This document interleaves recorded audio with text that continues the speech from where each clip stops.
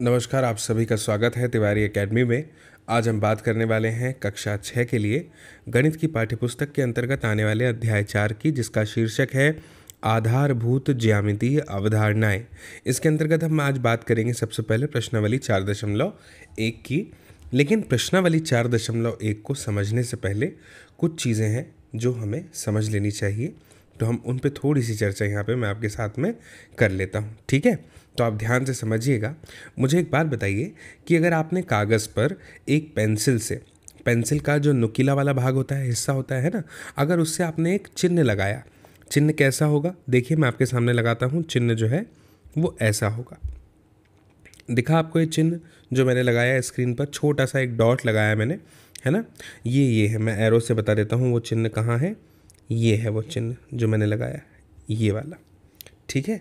ये चिन्ह एरो जिसकी तरफ़ इशारा कर रहा है। ठीक है? तो अब आप एक बात ध्यान देंगे ना कि पेंसिल जो है आपकी, उसका जो आपका सिरा है पेंसिल का, जिससे आप लिखते हैं, जिसको आप नोक भी कहते हैं, वो जितनी ज़्यादा नुकीली होगी, जितना ज़्यादा नुकीला होगा, चिन्ह जो है वो उतना ही ज़्यादा छोटा होगा, है ना? सूक्ष्म होगा। लगभग आप मान लीजिए कि एक बिना दिखाई देने वाला सूक्ष्म चिन्ह भी हो सकता है वो, जो आसानी से नहीं दिखाई दे। बहुत ध्यान से देखने पर ही दिखाई देगा, है ना? तो ये जो चिन्ह है ना, जो बहुत छोटा होता है, बहुत छोटा होता है, इसको हम कहते हैं बिंदु। ये हमें बिंदु की अवधारणा का आभास कराता है, महसूस कराता है। किसी लोकेशन की बात होती छोटी पर्टिकुलर लोकेशन, अवस्थिति की बात होती है तो अब हम कहते हैं कि अच्छा ये बिंदु है है ना? अब देखिए क्या होता है ना मैं आपको एक बात बता दूँ कि ये जो बिंदु है अब मान लीजिए यहाँ पे एक बिंदु है ये दो बिंदु है ये तीन ये चार ये पाँच। तो ये पाँचों बिंदु में से आ, अगर हमें इन बिंदु को अच्छे से व्यक्त करना है पढ़ना है तो इनका नामकरण करना पड़ेगा कोई ना कोई नाम देना पड़ेगा। तो इसको हम नाम देते जैसे इसको मैंने ए नाम दे दिया ये बी बिंदु है ये सी है ये डी है और ये ई बिंदु है ठीक है? इसमें कोई डाउट नहीं रखे रखेंगे आप कि बिंदु जो होते हैं ना, उनका जो, वो बहुत ही ज़्यादा छोटे होने चाहिए हमेशा, ठीक है? तो अब आपको ये समझ में आ गया क्या कि बिंदु क्या होते हैं? ठीक है, मुझे उम्मीद है आपको अच्छे समझ में आया होगा कि जो बिंदु है, वो क्या होते हैं। अब बिंदु को समझने के बाद में हम बात करते हैं अगले हिस्से की। अच्छा मुझे एक बात बताइए। मान लीजिए कि ये जो है ना, ये आपका एक कागज़ है, मैंने यहाँ पे एक कागज़ बना दिया आपका। ये एक कागज़ का टुकड़ा है मान लीजिए ठीक है? अब इस कागज़ के टुकड़े को आप इस तरह से ऐसे यहाँ से मोड़ देंगे बीच में से ठीक है? मोड़ दिया आपने कागज़ का टुकड़ा इस तरह से बीच में से। तो मोड़ने के बाद में जब आप उसे खोलेंगे तो इस तरह से एक आ, आप देखेंगे कि एक मोड़ आ जाएगा उसमें मोड़ पैदा हो जाएगा उस कागज़ में है ना? तो ये जो मोड़ पैदा होगा ना आप समझ लीजिए कि ये जो मोड़ का निशान जो आपको दिख रहा है यही जो है हमारा एक रेखाखंड कहलाएगा। यही जो है हमारा क्या कहलाएगा? रेखा खंड कहलाएगा। ध्यान से अगर इस शब्द को आप समझेंगे तो खंड का मतलब होता है टुकड़ा रेखा का एक टुकड़ा एक खंड। जब हम किसी एक हिस्से की बात करेंगे तब हम कहेंगे ठीक है? मान लीजिए भाई कि अब आप जो है आपने क्या किया यहाँ पे? आ, एक धागे को इस तरह से पकड़ा और उसको जो है आपने टाइट मतलब पकड़ लिया, ठीक है? इस तरह से खींचा आपने उसको। तो आपके इस धागे को ऐसा टाइट खींचने से, है ना? एकदम आप उसको ऐसे समझ लीजिए कि आपने दोनों सिरों को धागे के पकड़ा और उसको एकदम ऐसा खींच लिया। तो दोनों सिरों को कसकर जब आपने इसके पकड़ा, कोई भी ढील नहीं छोड़ी तो भी क्या होगा? आपको एक रेखाखंड को ही निरूपित करेगा, रेखाखंड के बारे में ही बताएगा। स्पष्ट है, रेखाखंड क्या हो गया? अब देखिए, आप एक बात ध्यान से समझ गए ना कि जब भी हम रेखाखंड की बात करेंगे तो रेखाखंड में क्या होगा? जैसे मान लीजिए ये एक रेखाखंड है, जो मैंने यहाँ पे आपके सामने खींच दिया। तो इसका एक प्रारंभिक बिंदु भी होगा और एक अंतिम बिंदु भी होगा। तभी तो हम इसे क्या कह रहे हैं? रेखा का खंड, यानी रेखा का एक भाग जिसकी हम बात कर रहे हैं। तो ये प्रारंभिक और अंतिम बिंदु को हम कोई ना कोई नाम दे देंगे। इसको हमने नाम दे दिया ए और इसको नाम दे दिया बी या पी क्यू या आर एस कोई भी नाम दे सकते हैं, हमारी मर्ज़ी। ठीक है? तो बिंदु क्या होता है, ये भी आप समझ गए। रेखाखंड क्या होता है, ये भी आप बहुत अच्छे से अभी समझ गए। ठीक है? अब समझिए। अब मैं आपको एक दूसरी स्थिति समझाता हूँ। मैंने अभी आपको बताया था रेखा खंड क्या होता है है ना? ठीक है। अब जरा इसको ध्यान से देखिएगा। ये मैंने यहाँ पे दो एरो लगा दिए। ये दो एरो का मतलब क्या है? ये दो एरो का मतलब ये है कि ये जो अभी मैंने लाइन खींची है यहाँ पे आपके सामने, जिसमें मैंने दो एरो लगाए हैं, तीर के निशान, ये ये बता रहे हैं कि ये अनंत तक आगे बढ़ सकती है। इस दिशा में भी और इस दिशा में भी। इसका कोई अंत नहीं है। इसका कोई भी अंत नहीं है। इसे व्यक्त करने के लिए हमने इसके एक हिस्से में दो बिंदु को नाम दे दिया। ए और बी, जो हमें इस रेखाखंड को हमसे हमारा परिचय करा रहे हैं। ठीक है? कल्पना कीजिए कि ए से बी बी तक के जो है, एक रेखाखंड यानी ए बी है। इसको ए से आगे की एक दिशा में और बी से आगे दूसरी दिशा में बिना किसी अंत के हमने इसको विस्तृत कर दिया है। ठीक है? तो ये जो रेखा आप देख रहे हैं, ये आपको प्राप्त यहाँ पे हो गई। ठीक है? अच्छा बताइए क्या आपको ऐसा लगता है कि जैसे मैंने पहले आपको बताया था रेखाखंड के बारे में कि कागज़ को मोड़िए तो क्या आप एक कागज़ पर रेखा को आप निरूपित कर सकते हैं? रेखा खींच सकते हैं क्या आप एक कागज़ पर? कागज़ को मोड़ के बोल सकते हैं, रेखा है ये नहीं कर सकते, ऐसा इसलिए नहीं करेंगे क्योंकि ये जो है ना, अनिश्चित रूप से विस्तृत होती है, आगे बढ़ती है, ठीक है? तो आप कागज़ पर एक पूरी रेखा कभी भी नहीं खींच पाएँगे, ठीक है? एक उसका छोटा सा हिस्सा, जैसे मैंने भी आपको स्क्रीन पर दिख रहा है ना, एक छोटा सा हिस्सा आप उससे ज़रूर व्यक्त कर सकते हैं, लेकिन पूरी रेखा आप नहीं खींच सकते, ये दोनों ही दिशाओं में अनिश्चित रूप से विस्तृत होती है, निरंतर बढ़ती है। ठीक है? और मैं आपको एक और बात बता देता हूँ कि एक जो रेखा होती है ना, इस पर ना असंख्य बिंदु स्थित होते हैं।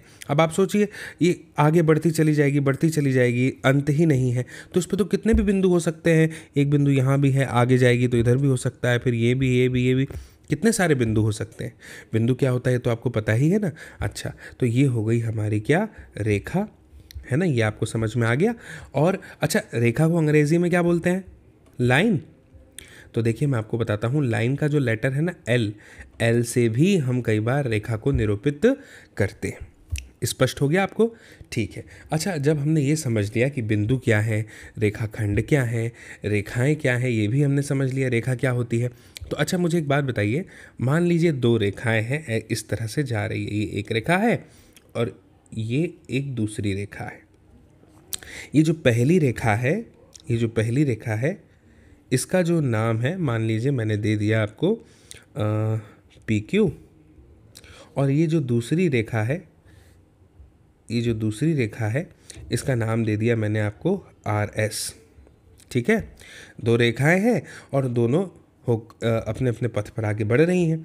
लेकिन आप एक चीज़ ध्यान दे रहे हैं यहाँ पे कि ये जो दोनों रेखाएँ हैं पी क्यू और आर एस ये एक दूसरे को काट रही है एक बिंदु पे, प्रतिच्छेद कर रही है इस बिंदु पे। और इस बिंदु को हमने मान लीजिए नाम दे दिया ओ ठीक है? ये हो गया। तो ये जो है रेखाएँ जब इस तरह से एक दूसरे को काटती हैं, एक दूसरे को प्रतिच्छेद करती हैं, तब हम इन्हें कहते हैं क्या? प्रतिच्छेदी रेखाएँ। तब हम इन्हें कहेंगे बच्चों, प्रतिच्छेदी रेखाएँ। अंग्रेज़ी में हम इन्हें कहते हैं इंटरसेक्टिंग लाइंस इंटरसेक्टिंग लाइंस कहेंगे हम इन्हें। स्पष्ट है? प्रतिच्छेदी रेखाएँ कहेंगे। ठीक है? ये एक दूसरे को प्रतिच्छेद कर रही हैं। कैसे भी एक दूसरे को ये प्रतिच्छेद कर सकती हैं, यानी ये काट सकती हैं। ठीक है? अच्छा अब हमने ये तो समझ लिया कि प्रतिच्छेदी रेखाएँ क्या होती हैं, ठीक है? अच्छा ठीक है, अब मैं आपको एक और आकृति बनाता हूँ, मैं इसको भी मिटा रहा हूँ, आप चाहे तो स्क्रीनशॉट ले सकते हैं, ठीक है? मिटा देता हूँ। अब मैं एक और आकृति आपके सामने बना रहा हूँ, अब आप मुझे बताइएगा कि ये जो आकृति मैं बना रहा हूँ, इसमें आपको क्या समझ में आ रहा है, ठीक है? मैं आकृति अभी बना देता हूँ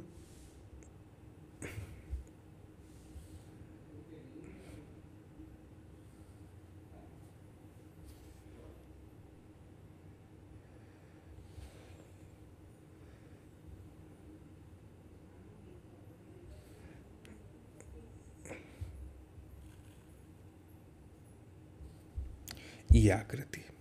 ठीक है? ये मैंने एक आकृति बना दी यहाँ पे आपके सामने और मैं इसको नाम दे देता हूँ ए बी और ये सी और ये डी ठीक है? अच्छा ठीक है। ये आकृति यहाँ पे ऐसी हो गई।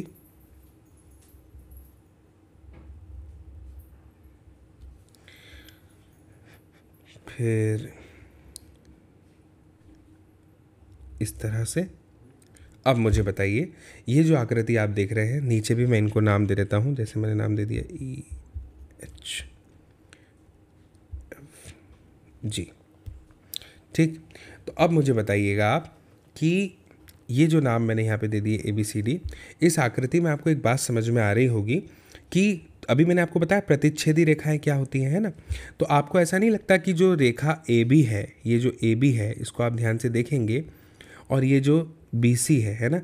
ये एक बिंदु पे प्रतिच्छेद कर रही है, एक बिंदु पे मिल रही है, बिंदु बी पे, है ना? इसी तरह से ये जो ए डी है और सी डी है, ये भी एक बिंदु डी पर यहाँ पे आकर के मिल रही है।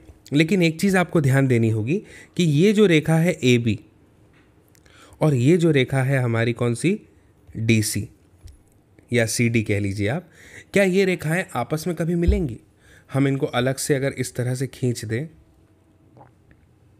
तो ये कुछ इस प्रकार है। सही कहा मैंने? क्या ये रेखाएँ आपस में कभी आपको मिलती हुई दिखाई देंगी? नहीं दिखाई देंगी, ये रेखाएँ आपस में कभी भी नहीं मिलेंगी। नहीं मिलेंगी ना? नहीं मिलेगी। तो आप मेरी बात ध्यान से समझिएगा, मैं आपको क्या कह रहा हूँ यहाँ पे? मैं आपसे ये कह रहा हूँ कि ये जो मेज़ मैंने यहाँ पे एक चित्र जैसा बनाया है, इसके पृष्ठ पर कुछ रेखाएँ हैं जो परस्पर प्रतिच्छेद नहीं करती हैं। चाहे हम उन्हें कितना भी बढ़ा लें, वो एक दूसरे को कभी नहीं मिलेंगी। है ना? तो ये जो रेखाएँ हैं, जो एक दूसरे से कभी भी नहीं मिलने वाली, इन्हें हम समांतर रेखाएँ कहेंगे। समांतर मतलब आप चाहे यहाँ से यहाँ का डिस्टेंस नाप लीजिए, यहाँ से यहाँ का डिस्टेंस नाप लीजिए, यहाँ से यहाँ का डिस्टेंस यानी दूरी नाप लीजिए, चाहे यहाँ से यहाँ की दूरी नाप लीजिए, ये दूरी हमेशा बराबर रहेगी। एक समांतर रेखा की सबसे बड़ी विशेषता पता है क्या होती है? एक समांतर रेखा की सबसे बड़ी विशेषता ये होती है बच्चों कि ये दो समांतर रेखाएँ हैं। इस बिंदु से इस बिंदु के बीच की दूरी जितनी होगी, वही दूरी इस बिंदु से इस बिंदु के बीच की भी होगी। ठीक है? तो मुझे उम्मीद है कि आपको ये बहुत अच्छे से समझ में आ गया होगा कि समानांतर रेखाएँ क्या होती है ना? यहाँ लिख के बता देता हूँ, समांतर रेखाएँ क्या होती हैं, ये आपको समझ में आ गया होगा। ठीक है? चलिए, अब इस प्रश्नावली को समझने से पहले एक और छोटी सी चीज़ बची है, उसको भी समझ लेते हैं। बहुत महत्वपूर्ण है वो वो है किरण। वो है किरण। अब आप कहेंगे, सर, ये किरण मतलब क्या? तो देखिए, मैं आपको बताता हूँ, मान के चलिए, है ना? मान लीजिए बस कि ये जो है आपका सूर्य है और सूर्य से जो है आप जानते हैं क्या निकलती हैं? सूर्य की किरणें। क्या निकलती हैं सूर्य की? किरणें निकलती हैं, है ना? आपने देखा होगा। ये बिल्कुल वही किरण है। आप कहेंगे, क्या सूर्य की किरण की बात हो रही है? बिल्कुल सूर्य की किरण की बात हो रही है। ये वही किरणें हैं जो सूर्य में होती हैं, जो प्रकाश में होती है। प्रकाश की किरणें जो हैं, उन्हीं की हम बात कर रहे हैं, है ना?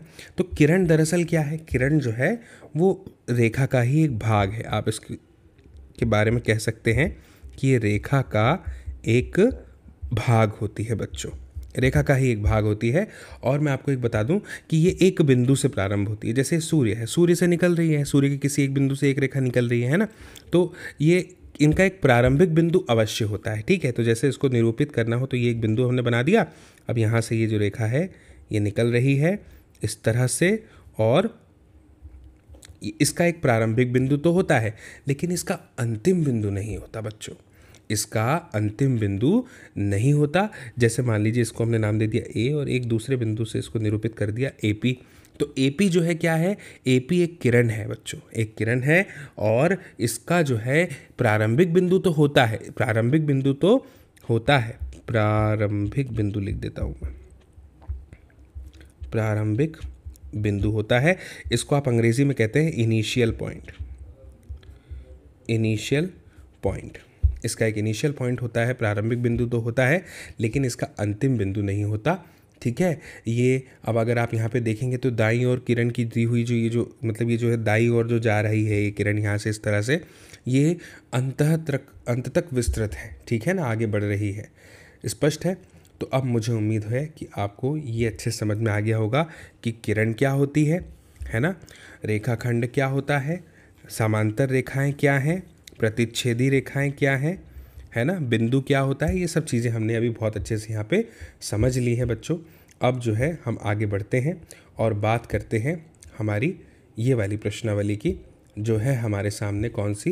प्रश्नावली चार दशमलव एक। ठीक? अब इसमें सबसे पहला प्रश्न जो लिखा हुआ है, आप समझ रहे हैं ना, ये समझना बहुत ज़रूरी था, बुनियादी बातें थी। अगर नहीं समझते तो प्रश्नावली समझ ही नहीं आती। इसलिए प्रश्न क्रमांक एक है, संलग्न आकृति का प्रयोग करके निम्न के नाम लिखिए। ठीक है भाई, अभी लिख देते हैं। सबसे पहले कहा है, पाँच बिंदु के नाम लिखिए। ठीक है, अब ये आकृति को देखिए आप। पाँच बिंदु के नाम लिखने के लिए कहा जा रहा है। तो पाँच बिंदु के नाम अभी सरलता से लिख देंगे तो लिख देते हैं। ए नंबर डाल के क्या? पाँच। बिंदु। पाँच बिंदु। कौन कौन से हो जाएँगे पाँच बिंदु? भाई, एक तो मैं देख रहा हूँ ओ। देखिए, ओ दिखाई दे रहा है। एक है बी बी भी दिखाई दे रहा है। फिर एक है सी, एक है डी और एक है ई। e. क्या ये आपको पाँच बिंदु नहीं दिखाई दे रहे? बिल्कुल पाँच बिंदु दिखाई दे रहे हैं। तो ये पाँच बिंदु हमने यहाँ पे नाम लिख दिए। बिंदु है ना ये? ठीक। इसके बाद कहा है दूसरा एक रेखा। ठीक है भाई? एक रेखा के बारे में भी लिख देंगे। एक रेखा। अब रेखा क्या होती है बच्चों? रेखा वो होती है जो अनिश्चित विस्तृत होती है, यानी कहने का मतलब है अंत विस्तृत होती है, जिसका कोई अंत नहीं होता, वो रेखा होती है। तो देखिए, एक रेखा का नाम लिखना था, एक रेखा लिखा है तो मैं यहाँ पे नाम लिख देता हूँ डी बी देख के बताइए, क्या डी बी जो है वो एक रेखा नहीं दिख रही है आपको यहाँ पे? तो डी बी लिख दीजिए, ये बिल्कुल एक रेखा है, इसके ऊपर ऐसा चिन्ह लगता है। ठीक है? हो गया? इसके बाद में लिखा है चार किरणें। कितनी किरणें? चार किरणें। ठीक है, किरण क्या होती है? जिनका एक प्रारंभिक बिंदु तो होता है, लेकिन अंतिम बिंदु नहीं होता। तो देखिए, प्रारंभिक बिंदु में मान लेता हूँ ओ को। ठीक है, ओ को मैंने प्रारंभिक बिंदु मान लिया तो एक तो जो है, हमारी किरण हो जाएगी कौन सी? मैं यहाँ पे पहले लिख देता हूँ, चार किरणें है ना? चार किरणें। ठीक, चार किरणें हो गया।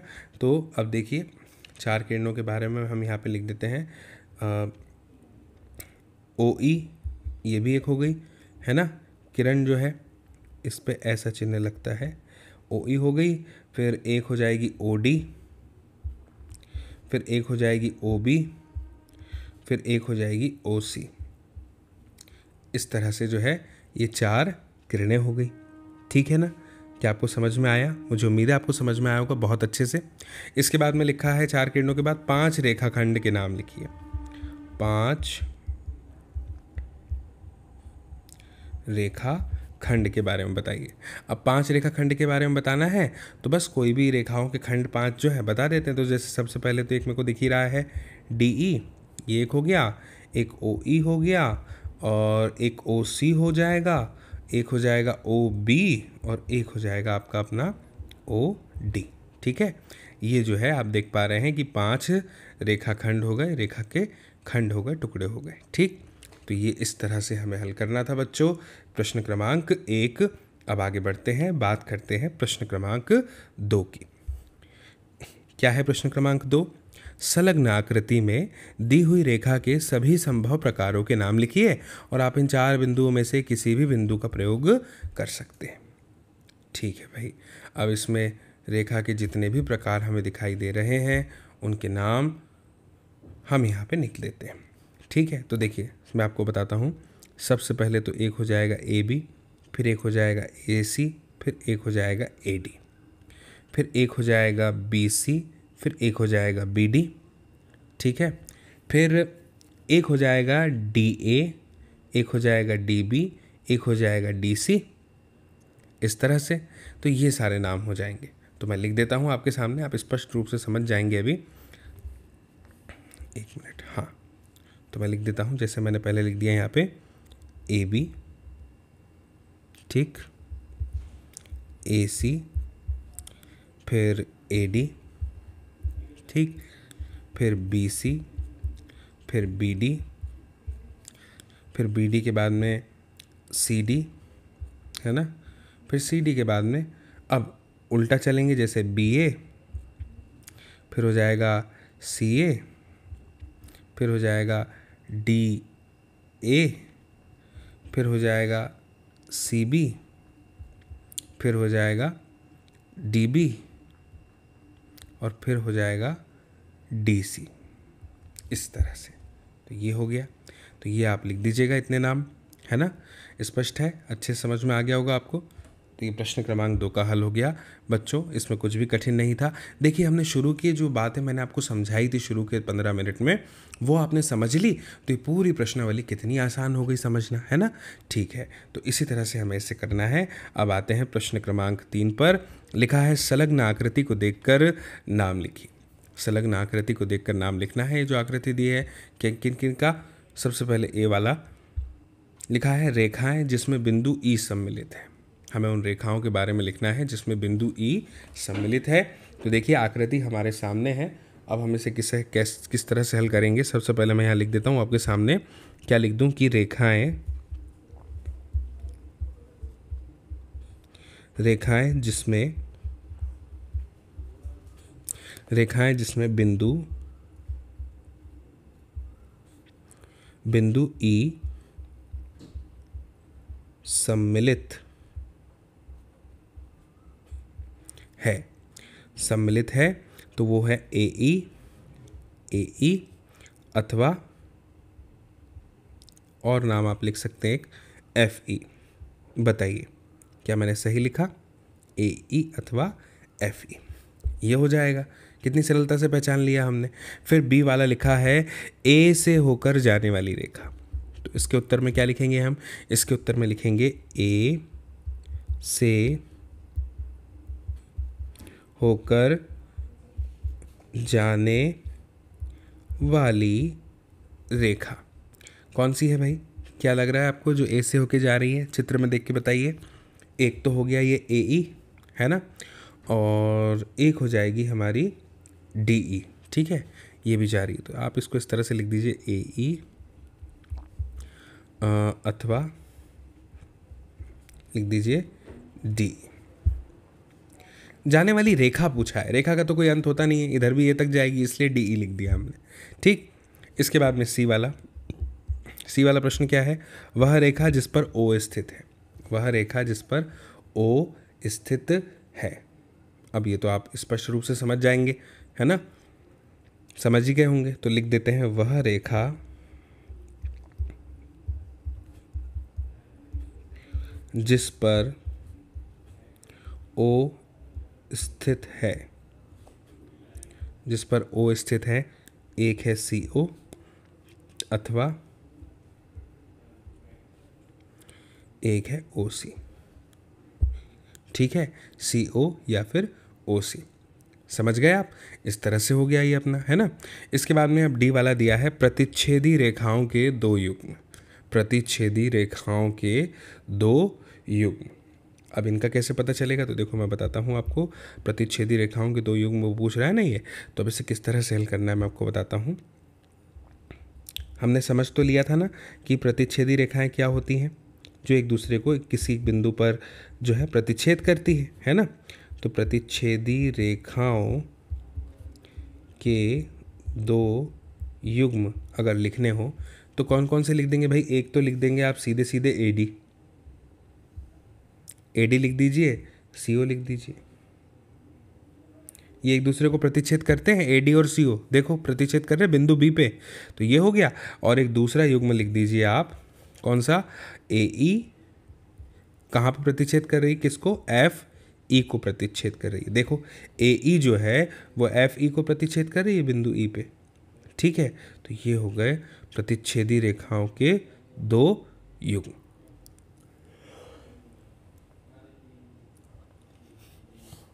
तो मुझे उम्मीद है आपको समझ में आ गया होगा। अब इसके बाद में हम आगे बढ़ते हैं और आगे बढ़ते हुए बात करते हैं प्रश्न क्रमांक चार से। प्रश्न क्रमांक चार की बात करें तो क्या लिखा है? निम्नलिखित से होकर कितनी रेखाएँ खींची जा सकती एक बिंदु अगर है तो उससे होकर गुजरने वाली कितनी रेखाएँ खींच सकते हैं? ये कह रहा है। और कह रहा है, अगर दो बिंदु है तो कितनी? तो सबसे पहले तो एक ही बात कर लेते हैं। एक ही बात कर लेते हैं। तो देखिए, मुझे एक बात बताइएगा आप। एक बिंदु कहा ये एक बिंदु हो गया। ठीक, अब इससे होके रेखाएँ खींचनी है। तो मुझे बताइए, क्या मैं एक रेखा ऐसी खींच सकता हूँ कि इससे होके?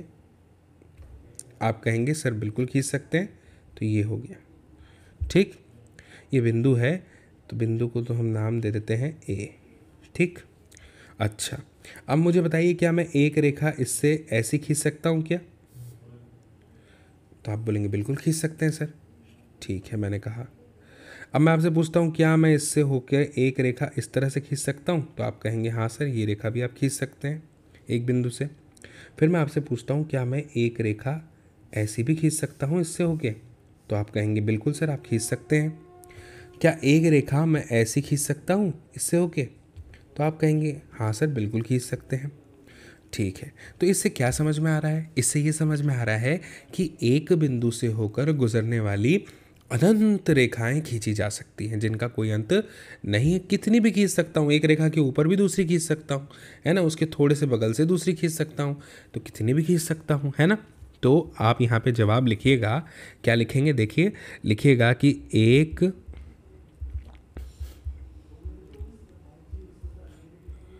बिंदु से होकर होकर अनंत रेखाएँ। अनंत रेखाएँ खींची जा सकती है। ठीक है? खींची जा सकती है। ये आपको लिखना है बच्चों। ठीक है? ये आपका उत्तर हो जाएगा ए का। फिर लिखा है बी, दो बिंदु। ठीक है। अच्छा मुझे बताइए, ये दो बिंदु हैं। ठीक है? ये दो बिंदु है। मैं क्या एक रेखा ऐसी खींच सकता हूँ, मुझे बताइएगा? आप कहेंगे, सर, बिल्कुल खींच सकते हैं, ये खींच दी मैंने। ठीक है। क्या आप और कोई रेखा खींच सकता हूँ, जिसमें ये दोनों बिंदु आ जाए?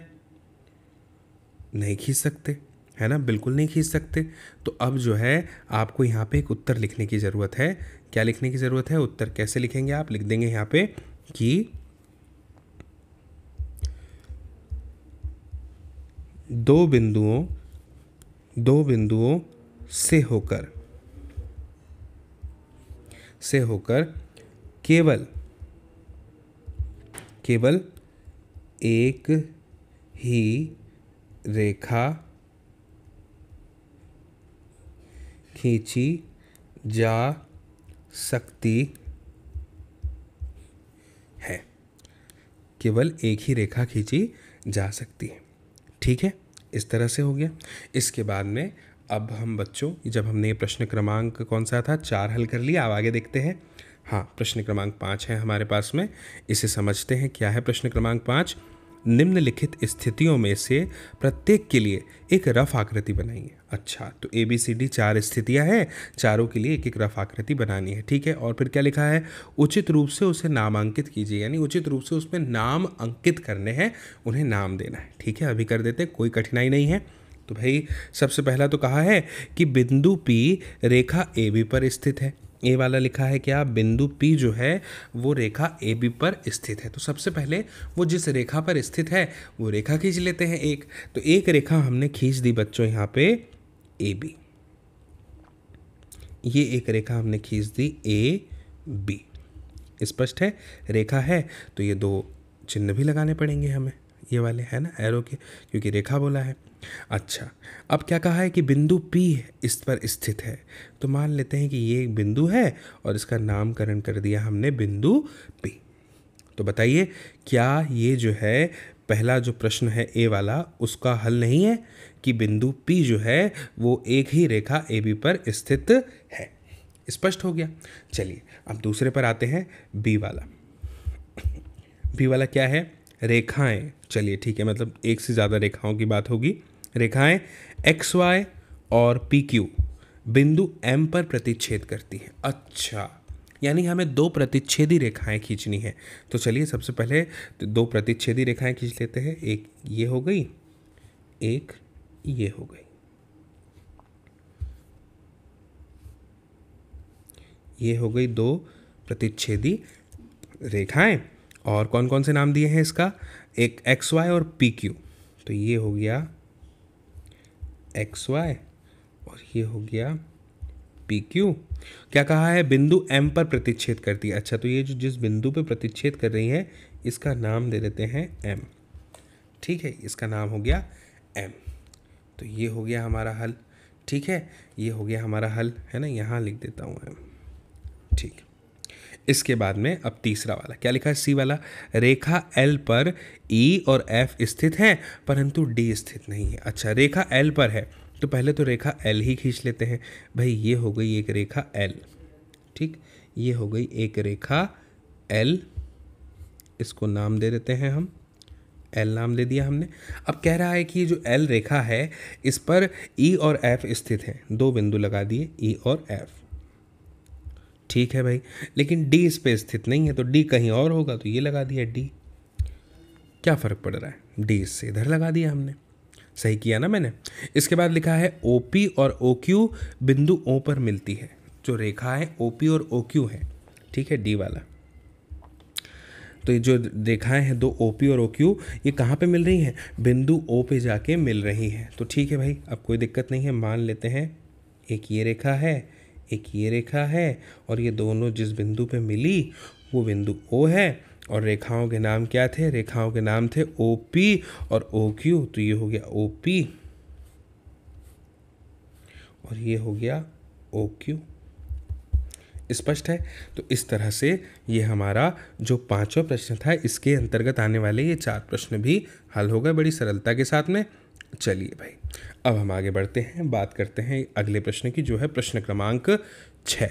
पढ़ते हैं क्या लिखा है? लिखा है, रेखा एम एन की संलग्न आकृति को देखिए।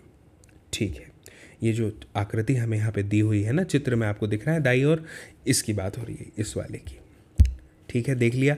इस आकृति के संदर्भ में बताइए, यानी संबंध में बताइए कि क्या निम्नलिखित कथन सत्य है या असत्य है? अच्छा अच्छा अच्छा। मतलब हमें सत्य और असत्य की जाँच करनी है। भाई ठीक है, कोई दिक्कत नहीं है, अभी कर देंगे, क्या कठिनाई हमने पढ़ तो लिया है सब। तो पहला प्रश्न है क्यू एम ओ एन और पी रेखा एम एन पर स्थित बिंदु है। ठीक है कौन कौन से? क्यू एम ओ और एन और पी तो देखिए क्यू एम ओ एन और पी जो है, ये रेखा एम एन पर स्थित है। बिल्कुल सही बिल्कुल सही बात है, स्थित तो है भैया। तो इसका उत्तर लिख देता हूँ। सत्य। यही तो लिखा था कि कथन के आगे सत्य है तो सत्य लिखिए, असत्य है तो असत्य लिखिए तो पहला तो सत्य हो गया। इसके बाद में दूसरा क्या लिखा है? एम, ओ और एन, रेखाखंड एम, एन पर स्थित बिंदु है। कौन कौन से? एम, ओ और एन जो है, ये रेखाखंड एम, एन पर स्थित बिंदु है। ऐसा कहा गया है तो भाई ये बात भी बिल्कुल सही है और इसीलिए हम यहाँ पे भी क्या लिख देंगे? सत्य लिख देंगे दिखाई दे रहा है। बिल्कुल है ये सब स्थित। फिर अगला है क्या? कि एम और एन रेखाखंड एम एन के अंत बिंदु है। यानी एम और एन जो है वो रेखाखंड एम एन के अंत बिंदु है अंत बिंदु है। ये पूछ रहा है ठीक है। तो ये रेखा के अंदर ही है ये सारे बिंदु है ना? तो ये वाली बात भी बिल्कुल क्या हो जाएगी हमारी सत्य। अंत बिंदु मतलब जो रेखा के भीतर हो ठीक? तो बिल्कुल सही कहा गया। इसके बाद में लिखा गया है अगला प्रश्न क्या है? कि आ, और एन रेखाखंड ओपी के अंत बिंदु है। एन रेखाखंड एन रेखाखंड जो है, वो ओपी के अंत बिंदु है। ओपी के अंत बिंदु है। अब देखिए, मैं आपको एक बात बताता हूँ कि रेखाखंड ओपी के अंत बिंदु है कौन? यहाँ पे एक प्रश्न जो है गलत छप गया है और एन लिखा हुआ है, ठीक है? तो ये जो है, मेरे ख्याल से ये थोड़ा गलत सा लग रहा है मुझे, ऐसा नहीं है। तो मैं यहाँ पे लिख देता हूँ असत्य। ठीक? ये सही नहीं है। इसके बाद में अगला लिखा है क्या? कि एम रेखाखंड क्यू ओ के दोनों अंत बिंदुओं में से एक बिंदु है। ठीक है। अब पहले क्यू ओ को देखिए। ये है क्यू ओ इसका अंत बिंदु कौन सा है? एम एक दिखाई दे रहा है आपको, है ना? तो एम जो है रेखाखंड ओ क्यू के दोनों अंत बिंदुओं में से एक बिंदु है। ये है। तो देखिए, मैं आपको बता देता हूँ कि दो तो इसके अंत बिंदु है ही नहीं। तो ये जो है, ये भी आपका क्या हो जाएगा? असत्य। असत्य हो गया। फिर अगला लिखा है एफ़ वाला कि एम किरण ओ पी पर एक बिंदु है। एम किरण ओ पी पर एक बिंदु है। किरण ओ पी पर एम जो है एक बिंदु है। बिल्कुल नहीं, वो तो एन है है ना? तो ये भी जो है हमारा क्या हो जाएगा? असत्य हो जाएगा भैया। असत्य हो गया। अब हम आते हैं अगले प्रश्न पर, यानी जी पर। क्या लिखा है? किरण ओ पी किरण ओ पी से भिन्न है। अब बताइए, यहाँ पे लिखा है, किरण ओपी जो है, वो किरण ओपी से भिन्न है। ओपी जो है, वो ओपी से भिन्न है। ठीक है, मेरे ख्याल से वहाँ पे क्यूपी लिखा आना चाहिए प्रश्न में, है ना? प्रश्न में क्यूपी होगा, तब ये जो है, ये हमारा सत्य हो जाएगा। मुझे ऐसा लगता है। इसके बाद एच वाला एच वाला क्या लिखा है? किरण ओ पी वही है जो किरण ओ एम है। ठीक है तो बिल्कुल ये जो लिखा है यहाँ पे, ये पूरी तरह से असत्य है, आप समझ रहे हैं, है ना? इसके बाद लिखा है, किरण ओ एम किरण ओ पी के विपरीत नहीं है। किरण ओ एम को देखिए ज़रा। अब बताइए कि क्या ये किरण ओ पी के विपरीत नहीं है? बताइए। किरण ओ एम जो है, उसके बारे में बताइए कि क्या वो ओ पी के विपरीत नहीं है? वो तो है तो यहाँ पे जो है, आपका आ जाएगा असत्य। असत्य आ गया। इसके बाद लिखा है जे वाला। जे वाला लिखा है, क्या लिखा है? किरण ओपी का प्रारंभिक बिंदु नहीं है। अब किरण ओपी का कोई प्रारंभिक बिंदु ही नहीं है। बताइए, अगर प्रारंभिक बिंदु ना हो तो किरण हो सकती है क्या? हो ही नहीं सकती। तो ये जो है भैया, ये भी क्या हो जाएगा? असत्य हो जाएगा। ऐसा तो नहीं है। इसके बाद में अगला लिखा है, क्या लिखा है? एन किरण एन पी और एन एम का प्रारंभिक बिंदु है। एन जो है यानी ये जो है एन ये क्या है? एन पी यानी ये और एन एम यानी ये का प्रारंभिक बिंदु बात बिल्कुल सटीक है। एकदम सही है तो ये सत्य हो गया। ठीक है? अब क्या और कोई प्रश्न है इस प्रश्नावली में? नहीं है। बस प्रश्न छः ही हैं। तो मुझे उम्मीद है कि आपको ये प्रश्नावली बहुत अच्छे से समझ में आई होगी। आप समझ गए होंगे कि बिंदु क्या है, रेखा क्या है, रेखाखंड क्या है, प्रतिच्छेदी रेखाएँ क्या है, समांतर रेखाएँ क्या हैं, किरण क्या होती है। है ना? ये सारी चीज़ें, सारी अवधारणाएँ आप समझ गए होंगे प्रश्नावली के माध्यम से और मुझे उम्मीद है कि आप ज़रूर इस वीडियो के लिंक को शेयर करेंगे अपने दोस्तों के साथ, मित्रों के साथ, ताकि वे लोग भी देखें इस वीडियो को, समझ पाएँ इस जानकारी को। वीडियो पसंद आता है तो लाइक ज़रूर कीजिएगा और कमेंट बॉक्स में कमेंट ज़रूर करके बताइएगा कि आपको वीडियो कैसा लगा, कितने अच्छे से समझ में आया है, ये ज़रूर बताइएगा, ठीक है? और बाकी फिर मेरी आपसे बहुत जल्द मुलाकात होगी अगले वीडियो में नई जानकारी के साथ में और तब तक के लिए आप सभी को मेरा नमस्कार